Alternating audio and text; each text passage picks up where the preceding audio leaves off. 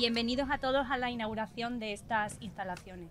Como habéis podido ver en la visita y los que no hayáis podido entrar ahora podréis hacerlo a continuación, además del césped eh, del campo de fútbol de césped artificial en el que nos encontramos, eh, las instalaciones tienen también una grada con capacidad para 500 personas, un aparcamiento con una superficie de más de 2.000 metros cuadrados, zonas de tránsito, eh, el mirador para aquellos espectadores que quieran ver el fútbol desde arriba y un edificio de 580 metros cuadrados que tendrá uso deportivo y vecinal, porque como sabéis, este es un proyecto que combina el deporte con actividades dirigidas a la inserción laboral de los vecinos. Agradecemos la presencia, en primer lugar, de la Federación Extremeña de Fútbol. Una persona que está trabajando mucho, muy bien por el fútbol extremeño y por el fútbol femenino. Ha acompañado como jefa de expedición a las campeonas del mundo y hoy tenemos el placer de que nos acompañe a nosotros en este acto sencillo pero emotivo. Así es que muchas gracias por estar con nosotros. Tiene la palabra Ángeles Aguilera, vicepresidenta de la Federación Extremeña. Muchas gracias a todos. Eh, estimadas autoridades y amigos, para la Federación Extremeña de Fútbol es un honor participar de la inauguración de este centro deportivo que además llevará el nombre de un gran deportista, jugador, entrenador y además buena persona como es Paco Herrera. Paco Herrera, vinculado siempre a nuestra ciudad, representa los valores del deporte y en especial el del fútbol. Ensalzar la figura de Paco Herrera es necesario ya que les une un vínculo y especial con el Club Deportivo Badajoz, del que ha sido y es un referente y un ídolo de todos los pacenses. También quiero felicitar a las autoridades que han hecho posible que estas instalaciones sean una realidad para el disfrute de los pacenses y para que el desarrollo del deporte y en especial del fútbol siga creciendo. Por último, quiero añadir que la Federación Extremeña de Fútbol está abierta a todas las iniciativas y proyectos que en las instituciones acometan y que dentro de nuestras posibilidades podamos contribuir. Muchísimas gracias.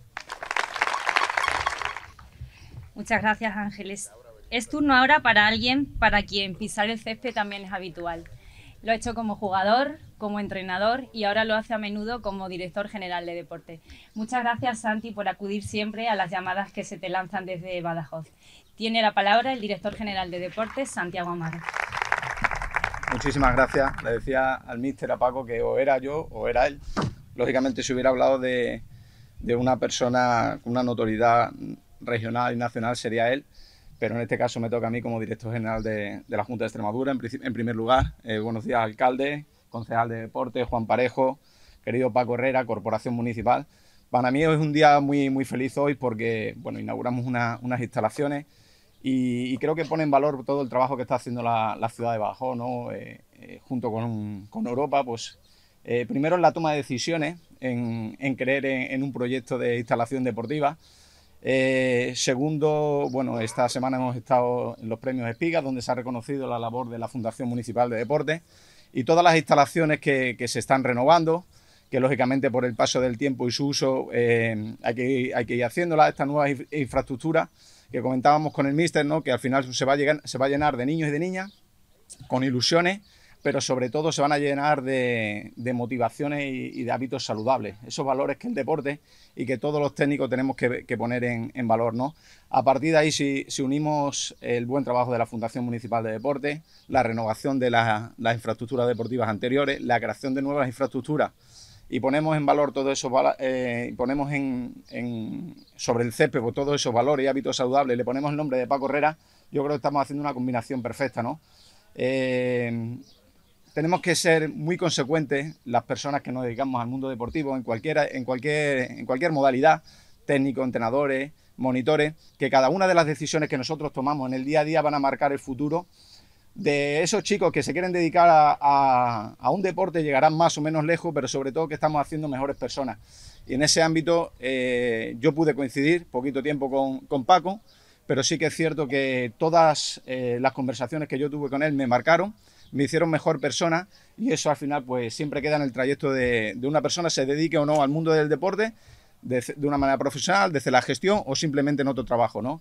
Animo a la Fundación Municipal de Deporte, eh, le doy las gracias al Ayuntamiento de Badajoz por la apuesta de este deporte y por el año de trabajo que llevamos y felicito, como no puede ser, a la ciudad de Badajoz por la apuesta decidida en el mundo del deporte. Desde la Junta de Extremadura y desde nuestra consejera Victoria Bazaga os mando un fuerte abrazo y que, y que sepáis que la colaboración de, de nosotros va a estar siempre ahí. Muchísimas gracias y buenos días. Cuando se dio a conocer que el nombre elegido por el ayuntamiento era este para bautizar las instalaciones, el alcalde dijo, lo leo textualmente, uno no es de donde nace, sino de donde pase. Y Paco Herrera eligió ser de Badajoz, algo que para nosotros es motivo de orgullo.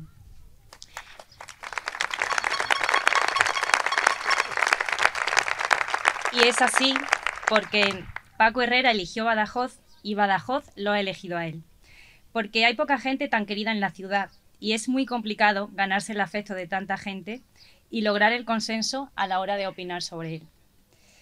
Porque Paco Herrera tiene una trayectoria profesional impecable y eso es un dato objetivo.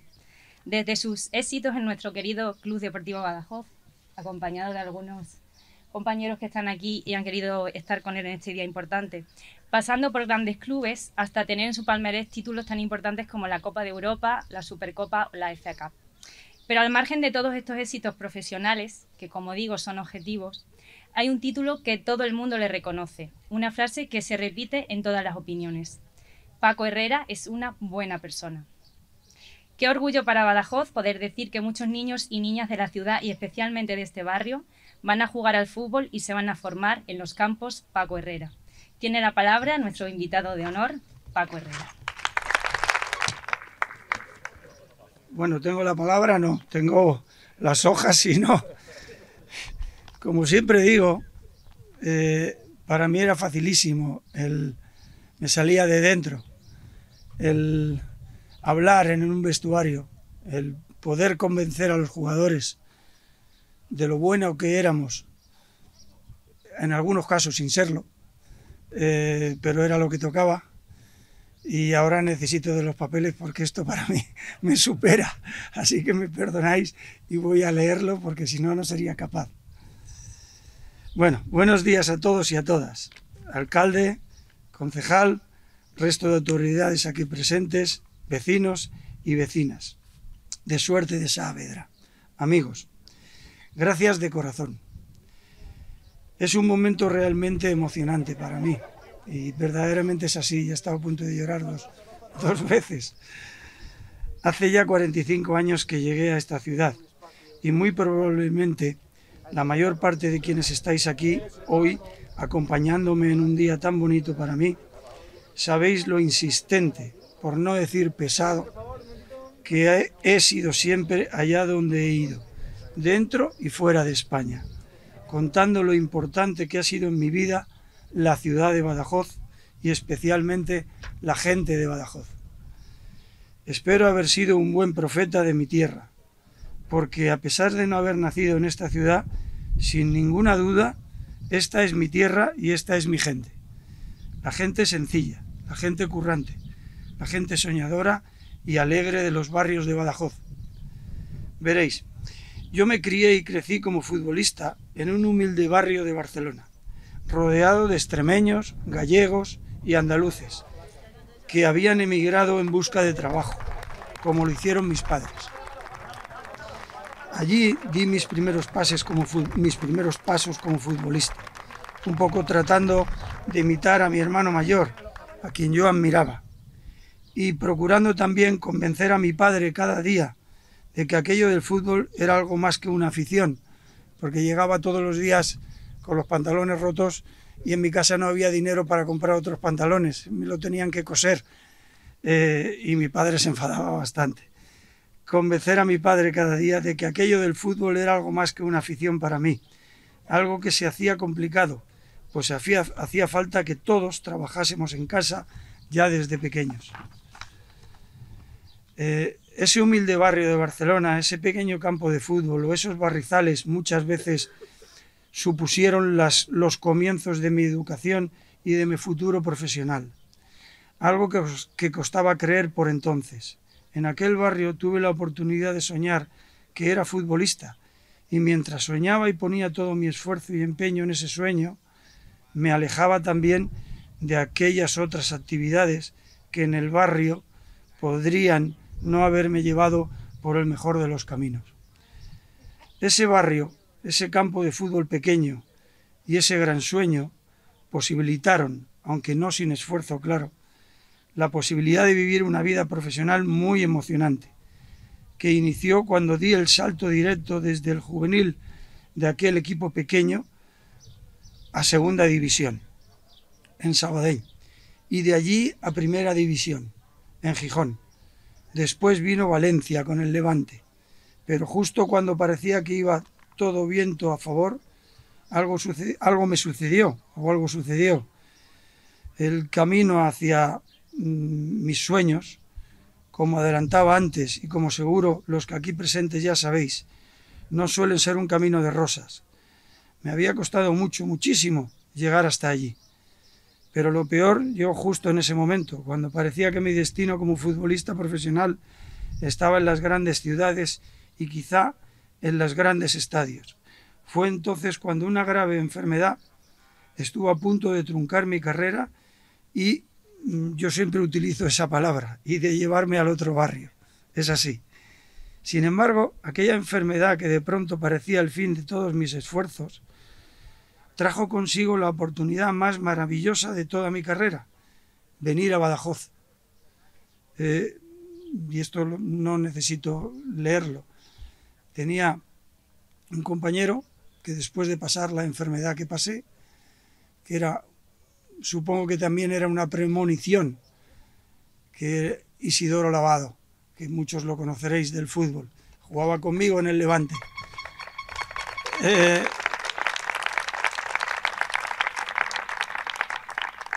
no sé por qué, ahora entiendo por qué, en aquel momento no sabía por qué, él era mi gran amigo y yo era su amigo. Seguramente porque él era de Badajoz y yo no conocía Badajoz todavía, pero había algo había algo ahí, ¿no? Eh, y em, sin embargo, eh, eh, hablaba de la enfermedad, sin embargo, aquella enfermedad que de pronto parecía el fin de todos mis esfuerzos, trajo, trajo consigo la oportunidad más maravillosa de toda mi carrera, venir a Badajoz, por eso lo decía, porque fue muy importante esa persona, Lavado. recuerdo que él habló con el club, yo llevaba un año sin jugar a fútbol, metido en una cama, y eh, les dijo, mirar, eh, le ha pasado esto, se tiene que recuperar, él quiere empezar por abajo y eh, el club aceptó que yo viniera aquí.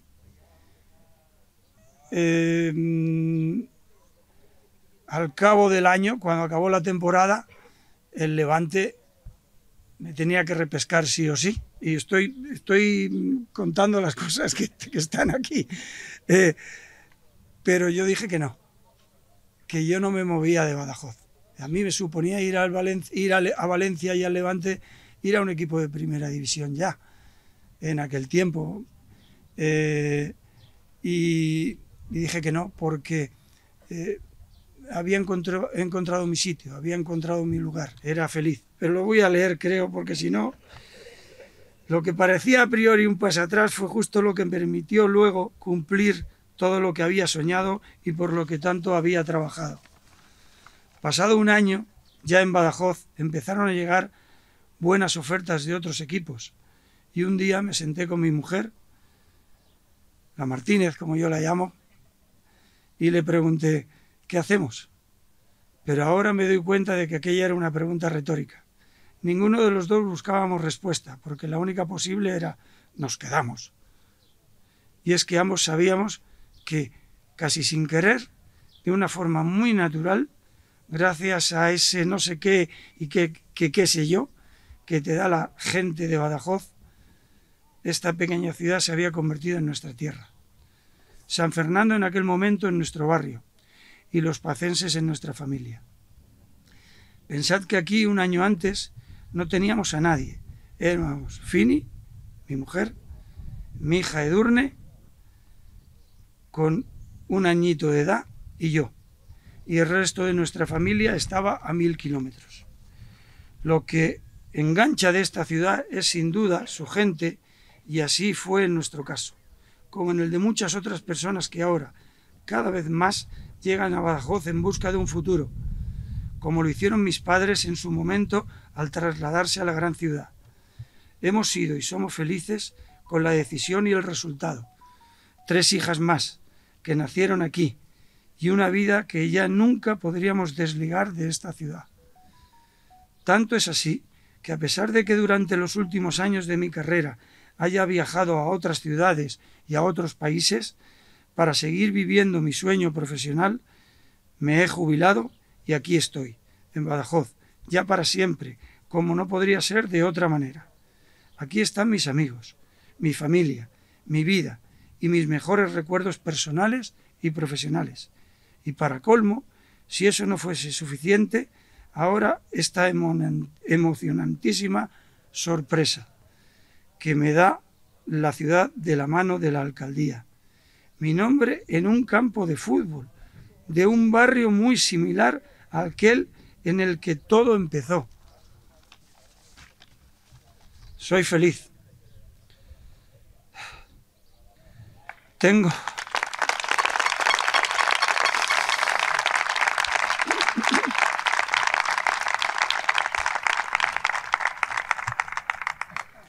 Tengo la sensación, ahora sí, de haber cerrado el círculo. He de confesar que me costó mucho tomar la decisión de jubilarme. Tenía la sensación de que a pesar de los éxitos profesionales, volver a Badajoz y finalizar mi relación con el fútbol no era lo que tocaba, algo faltaba.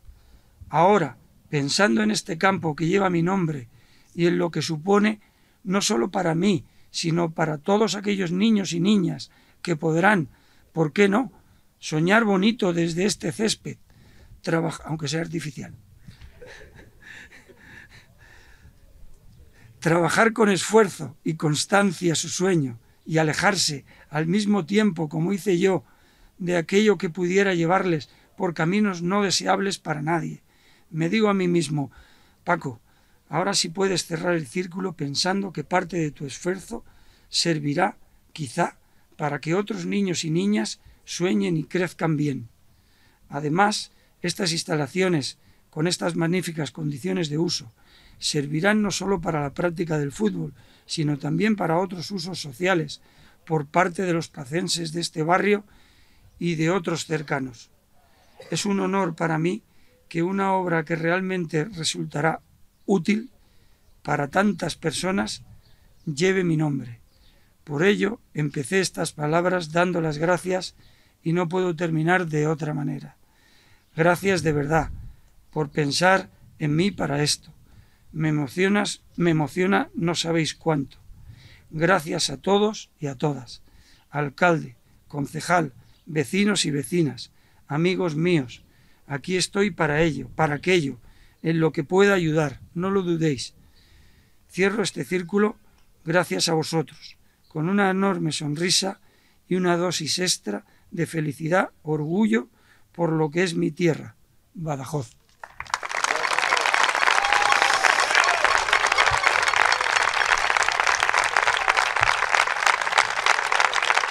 ha aguantado sin llorar, pero el resto de gente no, porque aquí veo a su familia, como no puede ser de otra manera, que no sé si siente más emoción o orgullo, a Begoña, que está aquí a lágrima viva enfrente, y a mucha gente, porque verdaderamente, Paco, escucharte es emocionante. Bueno, estamos llegando al final de este acto y tiene la palabra para cerrar alguien a quien me consta que le hace mucha ilusión este proyecto. Gracias, alcalde, por tu compromiso con la ciudad, con todos y cada uno de sus barrios por tu apuesta por el deporte, especialmente por este deporte base tan importante y porque llegue de forma gratuita a todos los vecinos. Gracias porque estas instalaciones deportivas y sociovecinales son ya una realidad. Tiene la palabra para cerrar el acto el alcalde Ignacio Orajera.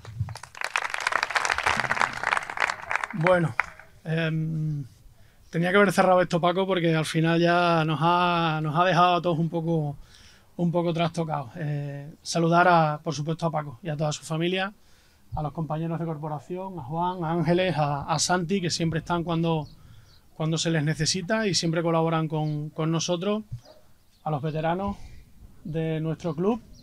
Gracias por acompañar a Paco en este día tan emocionante y por supuesto a todos los vecinos, Grupo Joven, Asociación de Vecinos, a, todos los que hoy estáis aquí porque es un día, como decía Virginia, para mí en lo personal, un día emocionante y un día muy feliz. Un día muy feliz por muchas razones. Primero porque se hace realidad este gran proyecto, un proyecto que se ha puesto en duda por parte de algunos durante mucho tiempo, pero que ya es una realidad, que hemos cumplido lo que prometimos y a lo que nos comprometimos y por tanto ahora estas instalaciones quedan a disposición del deporte base de la ciudad y a disposición de las asociaciones y de las entidades que quieran construir barrios y construir bajos desde aquí, desde Suerte Saavedra. Y esto se hace gracias al esfuerzo del ayuntamiento y gracias, tengo que decirlo, también gracias al esfuerzo de Europa, que ha puesto una gran parte del dinero que se ha invertido aquí y que eh, hay que reconocer cuando las cosas se hacen bien, porque últimamente estamos entrando en una dinámica en la que parece que solo desde Europa eh, se toma como excusa para decir las cosas que no se pueden hacer. Bueno, pues esto se ha hecho gracias a los fondos DUSI, gracias a los fondos FEDER y gracias también a la aportación importante del Ayuntamiento de Badajoz. Y por supuesto gracias al esfuerzo de muchas personas que han conseguido materializar este proyecto a pesar de todas las dificultades, como decía. Hemos pasado por una guerra, por un incremento de precios, por una modificación, por, muchas cosas, pero aquí estamos. En plazo, aquí estamos, en forma y sobre todo aquí estamos para, para quedarnos y para darle al barrio no solo unas instalaciones deportivas, sino también una ilusión, que es lo que nosotros queríamos. Y luego, ¿qué decir de Paco? Pues que yo creo que nos ha emocionado a todos hoy, pero lleva emocionándonos a todos pues desde hace muchos años, desde hace ya 32 años por lo menos, ¿no? Eh, no él solo, porque aquí hay muchos representantes de esa generación del ascenso. Eh, y yo lo digo, yo cuando, cuando esto se dio y, y, lo llamé, yo tengo que reconocer que yo me, me, acuerdo mucho de Paco porque una de mis grandes alegrías de pequeño, en el que eh, el fútbol para mí era muy, muy importante, casi lo único que había, ¿no? Porque soy muy futbolero y me encanta el fútbol. Eh, Paco y, y, otros como él, en una tarde gloriosa en el viejo vivero, pues nos hicieron sentirnos muy orgullosos de nuestro club y de nuestra ciudad. Y nos dieron la oportunidad de poder jugar en segunda división y de decir con muchísimo orgullo pues que, que Badajoz era de segunda, ¿no? después de unos años muy complicados, de, una travesía por el desierto muy difícil, con, problemas económicos, con, con, falta de ilusión, pero, pero Paco y muchos otros, insisto, no, no, nos ilusionaron y luego nos han ilusionado a lo largo de toda su carrera, no solo estando aquí, sino estando fuera, pero permaneciendo aquí. Porque no es fácil, y lo decía antes, salir de Badajoz, irse lejos de Badajoz sin ser de Badajoz y que Badajoz permaneciera en él y que su familia permaneciera aquí y que se hiciera siempre presente aquí, ya fuera en su etapa en Vigo, en su etapa en Inglaterra o allí por donde ha, por donde ha estado. A Paco siempre se le ha visto en Badajoz y siempre ha estado en Badajoz y siempre ha colaborado con su ciudad. Y por eso decía que para nosotros que somos de Badajoz, obviamente, es una maravilla poder decir que somos de aquí, pero no hemos tenido elección, porque nosotros somos de aquí, nos hemos criado aquí y al final hemos hecho nuestra vida aquí. Pero Paco sí pudo elegir y nos eligió a nosotros. Nos eligió a nosotros. Y no eligió a la ciudad por la ciudad, sino eligió, y lo ha dicho él, a la gente de Badajoz. Y eso nos tiene que hacer sentirnos especialmente orgullosos. Porque eh, muchas ciudades podrán sacar pecho de su pasado, de su historia, de sus monumentos, de su patrimonio. Nosotros también. Pero es que además de todo eso nosotros tenemos a nuestra gente. Y eso para mí es precioso. Porque así lo siento, pero escuchar a alguien de fuera decirlo también pues es para mí emocionante. Y por eso, ya solo por eso, se merece esto. Y por todo lo anterior, se merece mucho más. Y por tanto, desde aquí lo que sí os pido es que, más allá del enorme aplauso que se ha llevado antes, que tenga y siga teniendo todo nuestro reconocimiento, todo nuestro cariño, todo nuestro apoyo, porque ese es todo el cariño y todo el reconocimiento que le ha demostrado con su ciudad, con Bajo. Así que un aplauso muy fuerte para Paco, por favor.